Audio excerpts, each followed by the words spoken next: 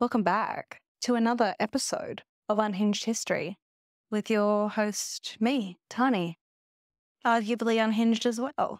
Today is a f- today is an exciting episode. Why? Because it's a little bit of her story or like my history, i.e., it's a it's surrounding my dad's career. Okay. Now, if you've followed me for some time, you probably may remember the little mini series that I did do on dad's career as a saturation diver. However, it is constantly requested, ba- like I'm, ba- I'm constantly badgered to get him on to tell more stories.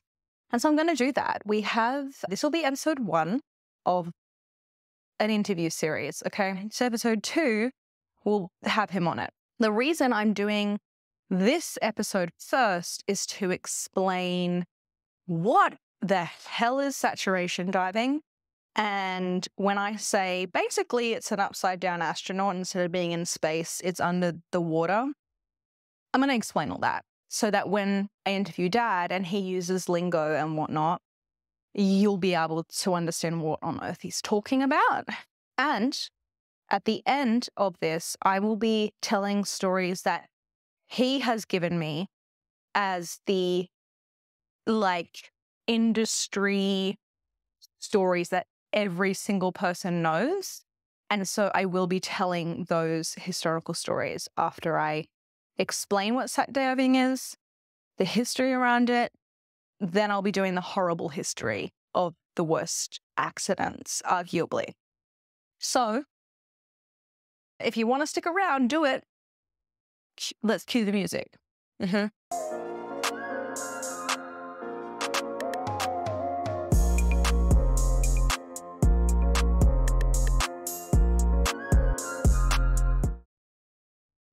I would like to pour my heart out, tell you all how much I love you for the support on the podcast. I have, I'm making it a habit to read out a couple of beautiful comments. And I think we're over 12,000. Yeah, 12,000 subscribers. Oh my gosh, guys. Thank you for that. That's what you guys. Caitlin Griffin, thank you so much. A YouTube reviewer. I learned so much, and I absolutely want to try all the existing bananas after the banana cartel. Absolutely agree. I also would like to try all the existing bananas, including the blue ones. That's my that I would that's on the list. So thank you so much for that. And this one from Shawnee Mick on iTunes came over from TikTok and I love this. Random thoughts. Would love to hear more about area of expertise and suggestions. And there were some suggestions that you left. I love that so much. Thank you. And thank you for the five stars on Apple Podcasts. It means the world. Just, yeah, grateful. Thank you. Now that that's that that thing's done. Okay, cool. On to the next. Today's sponsor is still myself.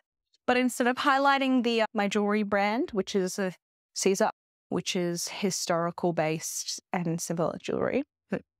I instead am going to highlight my paid subscription based platform. There's a few ways that you can join. I'll put a little thingamabobby on the screen of the different ways that you can join. You can join via Patreon or you can join via YouTube. And hopefully, at the point of me like showing the screenshot, there'll be other ways that you can join too. Anyway, the point is that it's a Discord server, it's a private Discord community.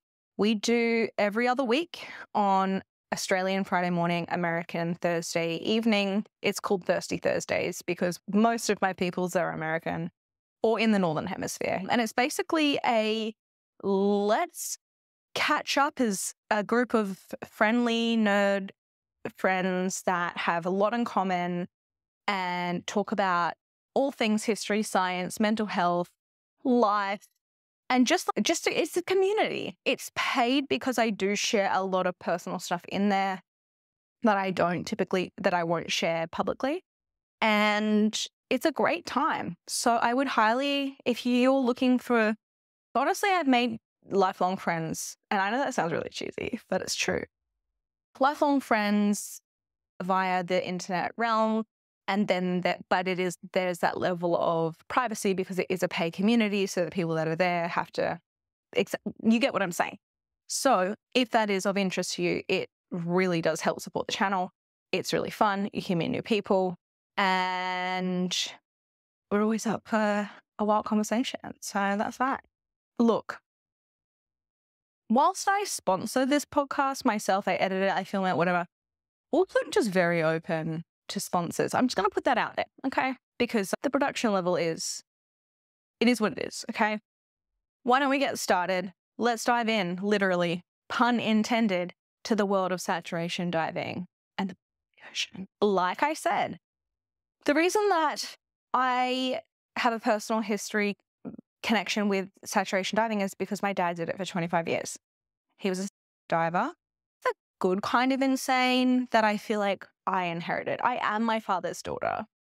Anyone that knows the two of us will agree. His name is Tane. I'm Tani. And anyway, so you may have seen the previous videos that I've done with him, mainly on TikTok. I did do one interview, but it's pretty poor quality on my YouTube. So we're gonna when I bring them on, we're gonna go over a few of the stories we have covered before, but a lot of stories that he hasn't spoken about. But today we're going to talk about what the hell it is.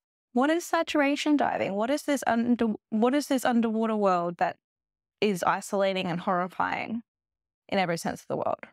Word. What? So eh, 70% of mm. our planet is covered in salt water, right? The ocean, the big blue.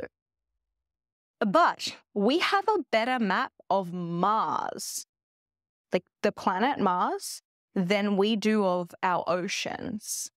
So we know more about space than we do about our very own ocean, which virtually sustains or at some point has sustained every single living thing on Earth.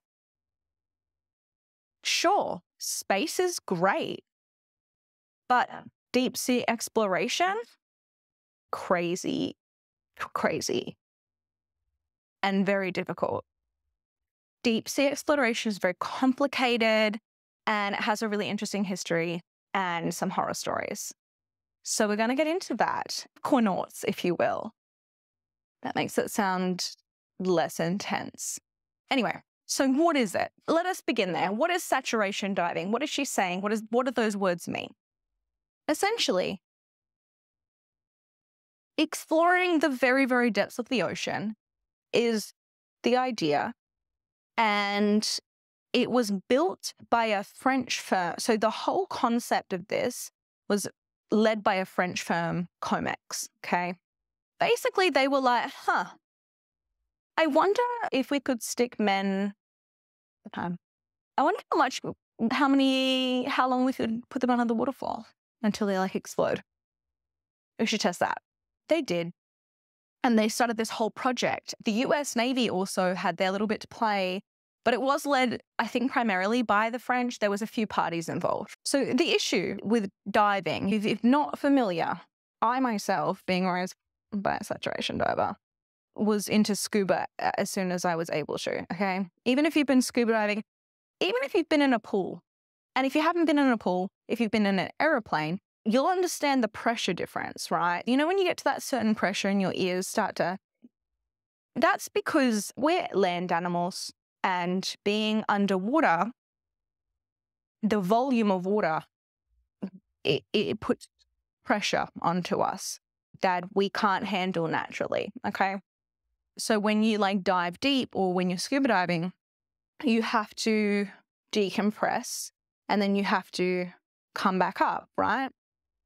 So eh, saturation diving is like going beyond all common sense and putting people at the literal bottom of the ocean. So the first saturation dive took place in 1938. So, you know, it's it, quite some time ago a guy named Edgar and a guy named Max Nohl spent 27 hours at the depth of 30 meters which is 101 feet for the Americans. That's a school, that's three school buses. Okay. Just imagine a school bus, which is about 10 meters, but then put it vertically and stack them on top of each other. That was the first one in 1938, and they spent 27 hours down there. They were breathing air, oxygen, which is made up of a lot of nit- nitrogen, oxygen, and carbon dioxide, and depends where you are. So then, about 20 years later, this guy called George Bond, not James Bond, but George Bond, conducted something called the Genesis Project, which already sounds like a horror movie, in my opinion. And he wanted to prove that humans could withstand pressure and prolonged exposure to different types of gases. So he wanted to prove that human beings could breathe in something other than oxygen or a mix of higher levels of some other gas for a prolonged period and be fine. Okay. That was his hypothesis. And that hypothesis in the US Navy were like, that's a brilliant idea. Let's test that. Cool. Let's go. Let's expose humans to, to potentially toxic gases. that sounds fun. Anyway, so they get to work and they realize that the hypothesis is viable. And it took a solid 10 years. So we're talking about 1960 now, 65. They performed the very first saturation dive. Okay. What does that mean? A guy named Bennett invented a breathing gas to eliminate the high pressure that when you're under the water and there's tons and tons and tons of pressure on you and then you die, he worked out, like he said, hold on a minute. If we get people to be breathing and be completely in all their cells and tissues, completely saturated in a lighter gas and they can breathe that and they can live, then like the pressure wouldn't be so bad, right? I guess think about a helium balloon versus an oxygen balloon. I like an oxygen balloon. Actually, that's a bad analogy. It's the other way around. Eh, point is, this Bennett dude was like, let's see what happens if we give them he- helium and stuff, because it will make them lighter, and so the pressure won't be so bad. Um, and so that that kind of worked. There were casualties. I keep trying to Google like the ethicalness of these experiments, and I can't really find a lot, which says a lot. When you can't find a lot, it says a lot about the volunteers. What happened to them? I don't know. Couldn't tell you because it's not publicly. Point is that they worked out with the Atlantis 3 experiment, meaning that there was two beforehand that we don't talk about, subjecting volunteers to a pressure of 2,250 FSW. Don't know what that means. 686 meters? I don't know. The point is that exposing somebody to this trimix of gas that was very helium based for 31 plus days, and it set a world record. Go Bennett. So then they were like, okay, cool. So what's the point of this? That's great. But how are we going to make any money off that? And they're like, science. And then, but then, but then, guess what? You know what's on the bottom of the ocean floor? A shit ton of oil and gas. That's right.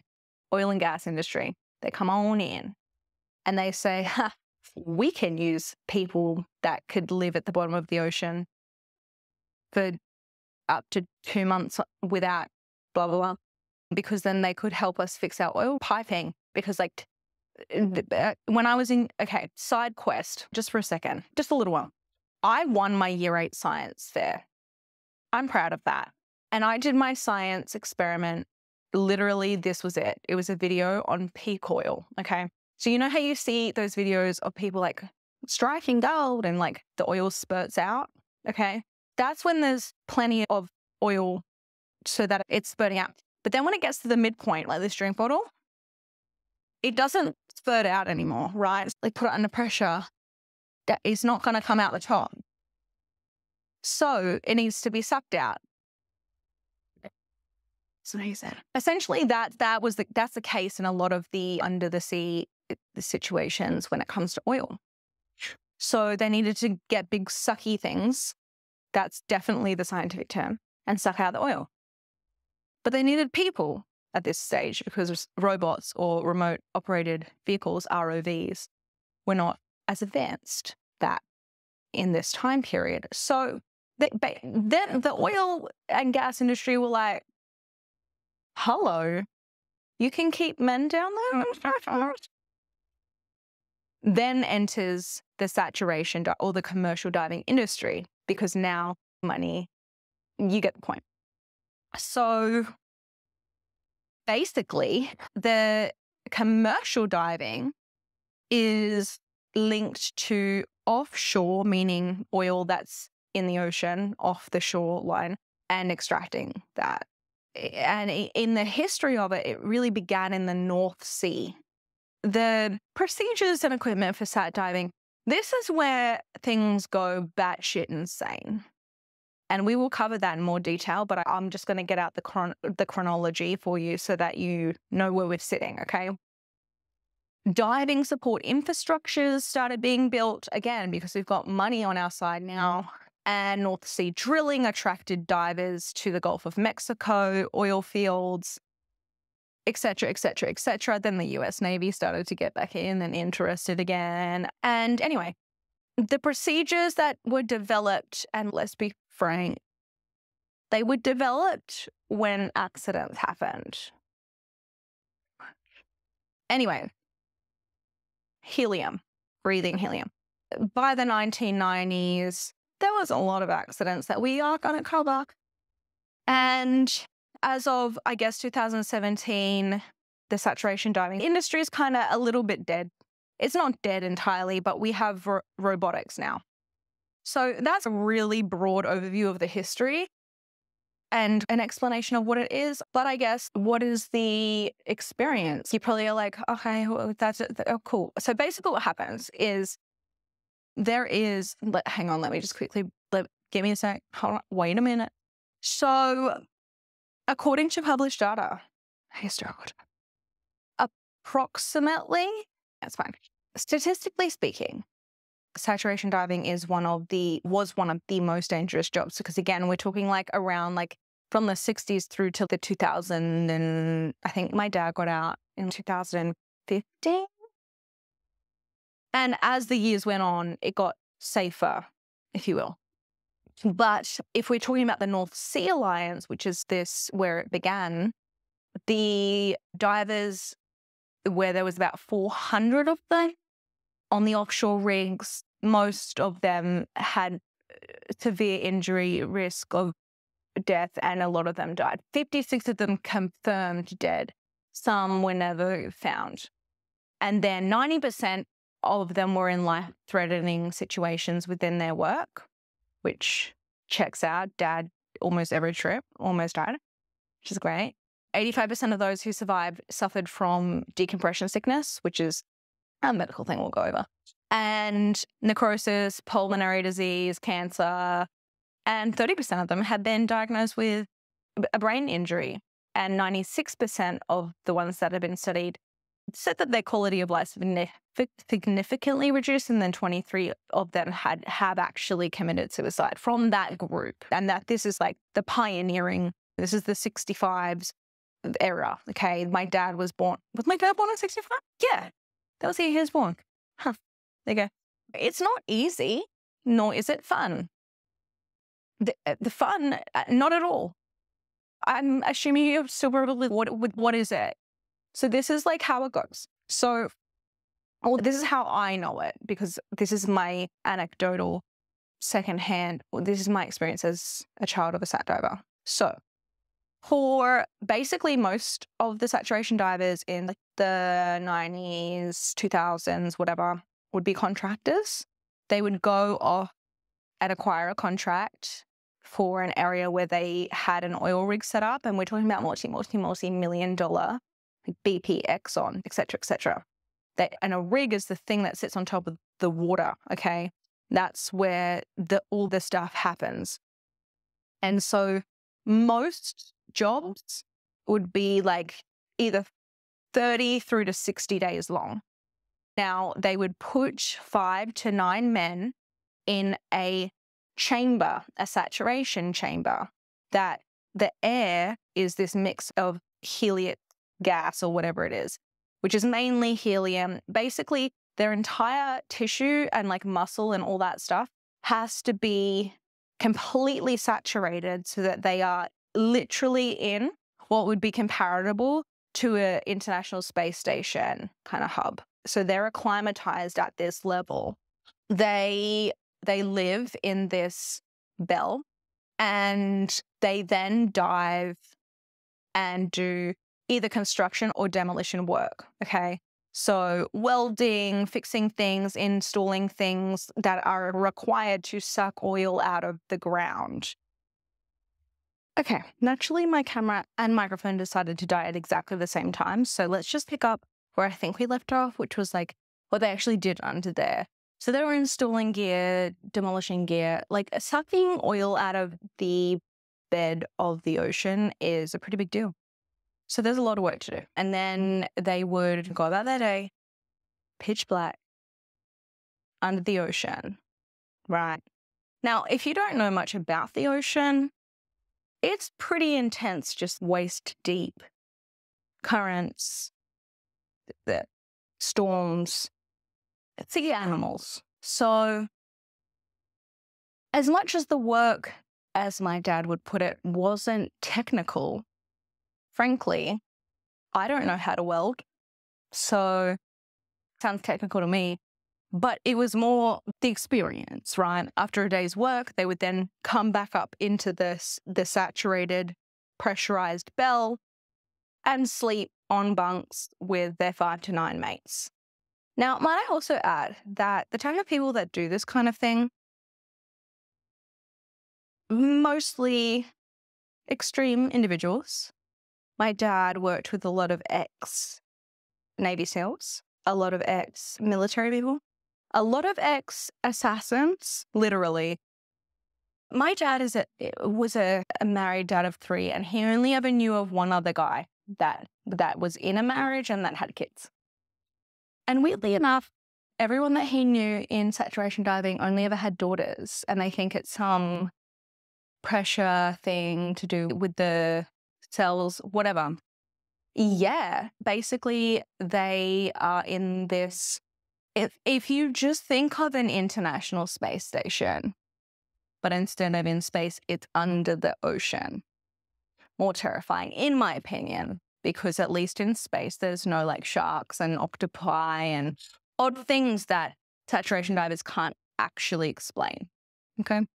And like I said, they would just live down there, do that day in, day out, day in, day out, day in, day out until the job was done. And then they would slowly, over about four days, decompress, desaturate to somewhat normal oxygen levels. But because they'd been breathing in this mix of like mostly helium gas so that the pressure didn't compress their existence, they would all have Donald Duck voices. And uh, other questions that I would always have is okay, sure, but dad, when you're working in Russia, isn't that cold? And he'd be like, yeah, absolutely. You would get hypothermia. And so I'd be like, so how oh. does that work? And he'd be like, oh, the suits are heated with like heated water. And if the heating turns off, you die instantly of hypothermia. Cool. So there's a lot of moving parts. I feel like, yeah, there's a lot. And so basically, when the divers are down there, they have this like tube thing, this connection to air and whatever. And they wear these the big helmets, insert picture you might be familiar with. And that's their life that's literally their lifeline. And if something goes wrong upstairs, gone. So that's a day, that's a day to day. Okay. And then they would get back on land, And for the risk, it was good money. But again, it was contract it was a contract thing. So people were always chasing the contracts. And you can only do that for so long. And a lot of the guys that were in the jobs, they didn't have families. And so they would get on land and just you know, whereas dad would fly home to his three daughters and be domestic. I don't know. Honestly, I don't know how he did it. So, moving forward, now that like what the day in and day out is, there's a few things that you need to know about diving, about being under the ocean. I'm an ocean girly, grew up on the coast, mm, taught a smile.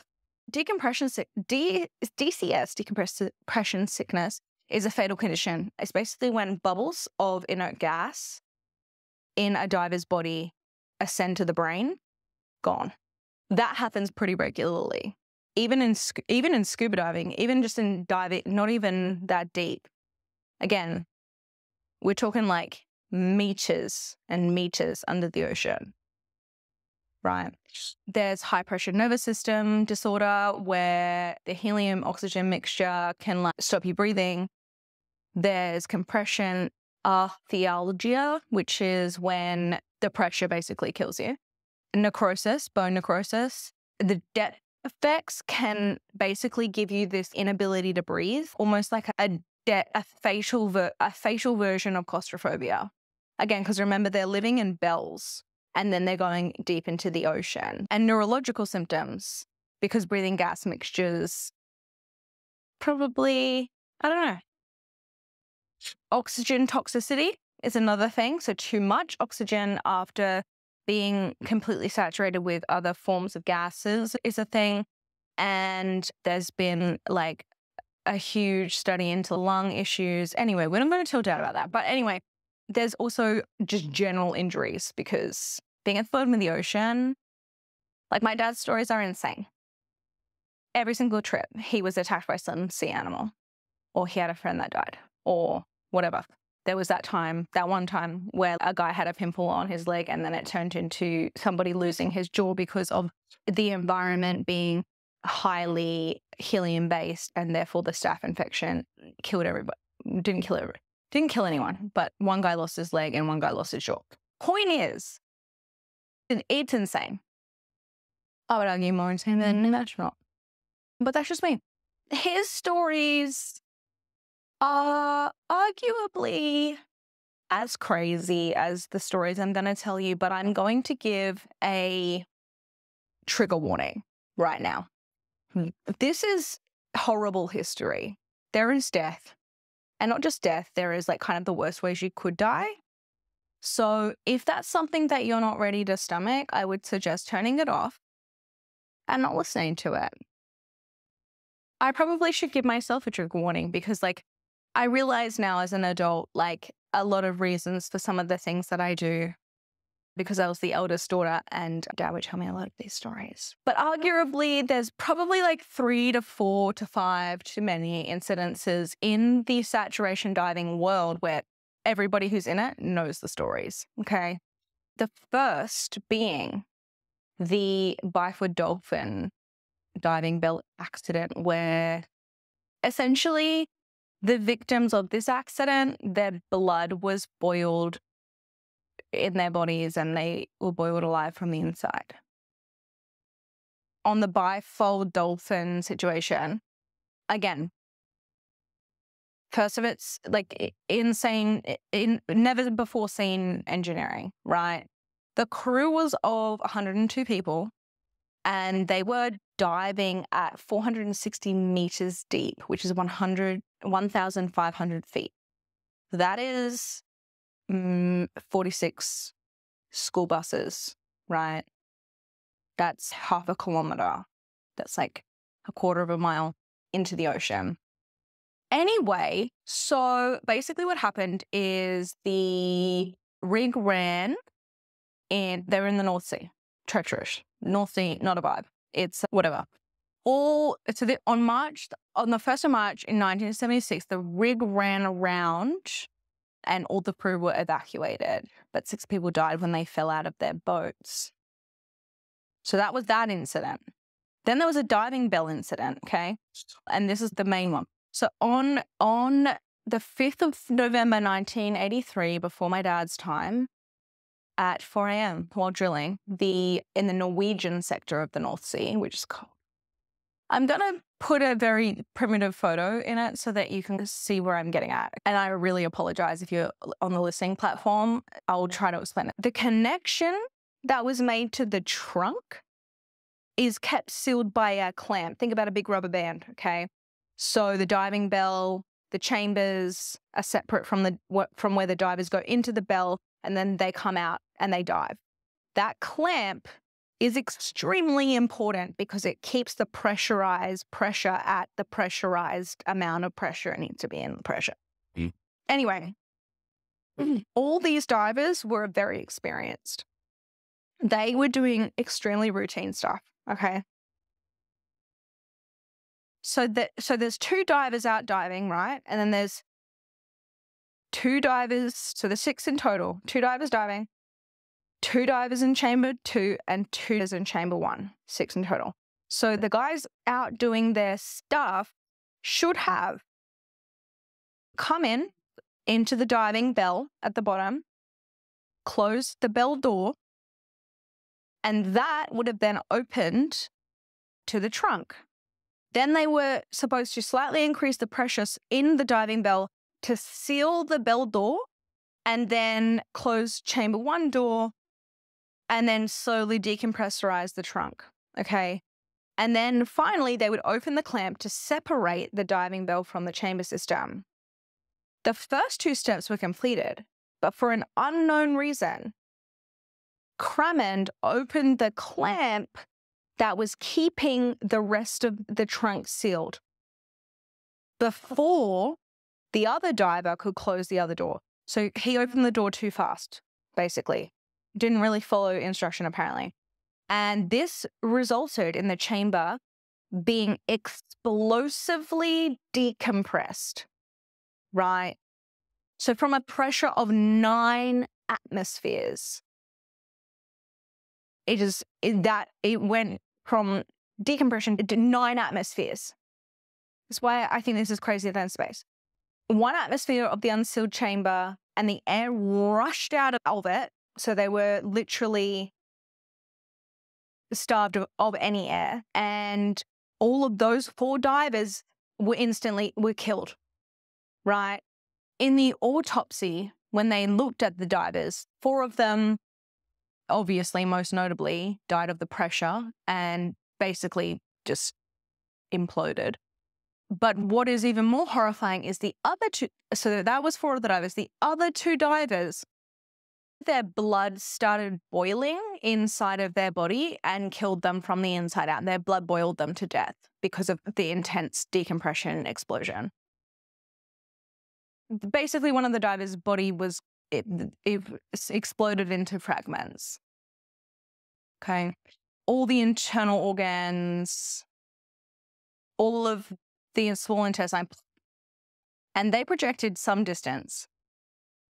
One section being found 10 meters vertically. Small intestine found 10 meters vertically because he exploded that aggressively. So, yeah, that's a pretty bad one. Not gonna lie. That's a very well known one. Then there are others which I think I'm gonna like leave for dad to tell because I, he's been in these he's been in situations exactly like these other stories. The only one I will tell is the one that dad said I must tell on this podcast, which is The Last Breath. Now, The Last Breath is actually a film. It's a document a documentary. And if you don't want a plot spoiler, then subscribe and uh, dip on out now. I can't watch it because this has happened to my dad twice. But essentially, it's a sort of documentary about the Bibby Topaz diving incident, which at that point, my dad was out of the water. I don't know why he likes this movie, but he's that's what he's like. The movie capt- captures it so well.